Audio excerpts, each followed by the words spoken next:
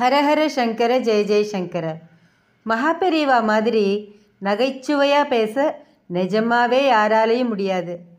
ஒரு நாள் மகாபெரிவா படுத்துட்டு இருந்தார் அந்த சமயம் பார்த்து ஒரு கிழவர் வந்தார். பிரபு என்னால் ஒன்றுமே பண்ண முடியல. அடிக்கடி ஜுரம் வருது. ஹார்ட்டில் ப்ராப்ளம் இருக்குன்னு ஒரு பெரிய பட்டியல் போட்டு பெரியவா தான் காப்பாற்றணும்னு சொல்லிண்டே நமஸ்காரம் பண்ணினார். பெரியவா முனகிண்டே உக்காரு உனக்கு ஒரு கதை சொல்லட்டுமா? அப்படின்னு ஆரம்பித்தார் ஒரு கிராமத்தில் கோவிலில் குறி சொல்கிற பூசாரி ஒருத்தர் இருந்தார். அவர் சொன்னதெல்லாம் அப்படியே பலிக்கும். அதே ஊரில் இருந்த ஒரு போலீஸ்காரர் அந்த பூசாரியோட ரொம்ப நெருங்கிய நண்பன். ஒரு நாள் அந்த பூசாரி கோவிலை திறந்தார். அவர் அப்படியே ஷாக் ஆயிட்டார். கோவிலோட நிறைய சாமான்கள் திருட்டு போயிருந்தது. உடனே தன் போலீஸ் நண்பன் கிட்ட சொல்லணும்னு அவரை தேடிட்டு ஓடினார். அதே சமயத்தில் அந்த போலீஸ்காரர் பூசாரியை தேடி ஓடி வந்துட்டுருந்தார் போலீஸ்காரரை பார்த்ததும் தேடி போன மூலிகை காலில் சுத்திண்ட மாதிரி நீயே வந்துட்டியே.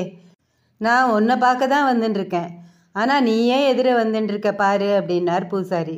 கும்பிட போன தெய்வம் குறுக்க வந்த மாதிரி நானே உங்களை தேடி தான் வந்துட்டுருக்கேன் அப்படின்னார் போலீஸ்காரர். என்னது? நீ என்ன தேடி வரையா? என்ன ஆச்சுன்னார் பூசாரி. என் சைக்கிளை காணும். யார் எடுத்திருப்பான்னு கொஞ்சம் குறி பார்த்து சொல்லணும். அதுக்கு தான் உங்களை தேடிட்டு ஓடி வரேன் அப்படின்னார் போலீஸ்காரர். அடராமா நானே கோவில் சாமானெல்லாம் காணும். நீ கண்டுபிடிச்சி கொடுப்பேன்னு உன்னை தேடி வந்துட்டுருக்கேன் நீ இப்படி சொல்கிறியே அப்படின்னாராம். நம்ம கதை கூட அப்படி தான் ஆயிடுத்து. நீ உடம்பு தேவலையாகணும்னு என்கிட்ட வந்திருக்க. எனக்கே மூணு நாளாக ஜுரம். இது பூசாரியும் போலீஸும் சந்திச்சிட்ட மாதிரி இருக்கு. கிழவர் அதை கேட்டு வாய் விட்டு சிரிச்சுட்டார். நாம்ளும் சேர்ந்து சிரிக்கலாமா? ஸ்ரீ மகாபெரிவா திருவடிகளே சரணம். தன்னோட பதிமூணாவது வயசில் ஆச்சாரியா சந்நியாச பட்டத்தை ஏத்துண்டு பீட ஆரோகணம் பண்ணிட்டார் அன்னைக்கு சாயந்தரம் மடத்தில் இருந்தவா எல்லாருக்கும் பெரியவாளை அறிமுகம் பண்ணுறதுக்கு நடக்க போகிற கூட்டத்தில் பெரியவா உபன்யாசம் பண்ணணும்னு எல்லாரும் பணிவாக வேண்டிண்டா. பாலகனாக இருந்த பெரியவாளும் சரின்னு ஒத்துண்டார். பெரியவா உபன்யாசம் பண்ண போகிறாங்கிற விஷயம் பரவினதும் கும்பகோணத்தோட மொத்த ஜனங்களும் திரண்டு வந்த மாதிரி கூட்டம் ரொம்பி வழிஞ்சுது.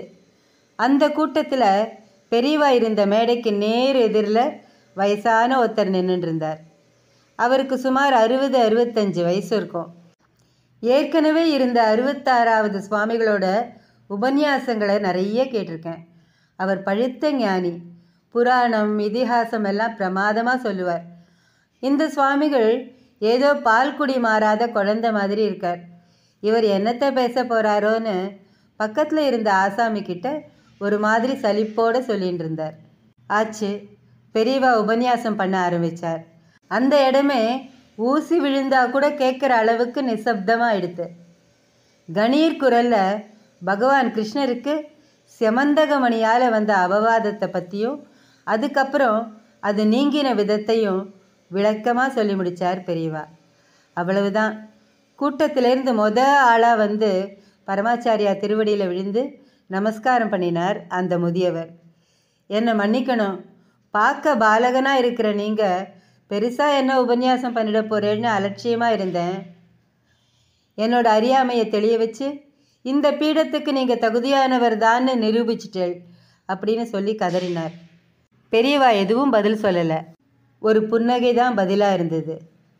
அந்த புன்னகைக்கு அர்த்தம் என்னங்கிறது பரமாச்சாரியாளுக்கு மட்டுமே தெரிஞ்ச பரம ரகசியம். தட்சிணாமூர்த்தியோட சிரிப்புக்கு இன்னைக்கு வரைக்கும் யாராலையும் அர்த்தம் சொல்ல முடியாது. ஸ்ரீ மகா பெரியவா திருவடிகளே சரணம். ஹரஹர சங்கர ஜெய ஜெய் சங்கர.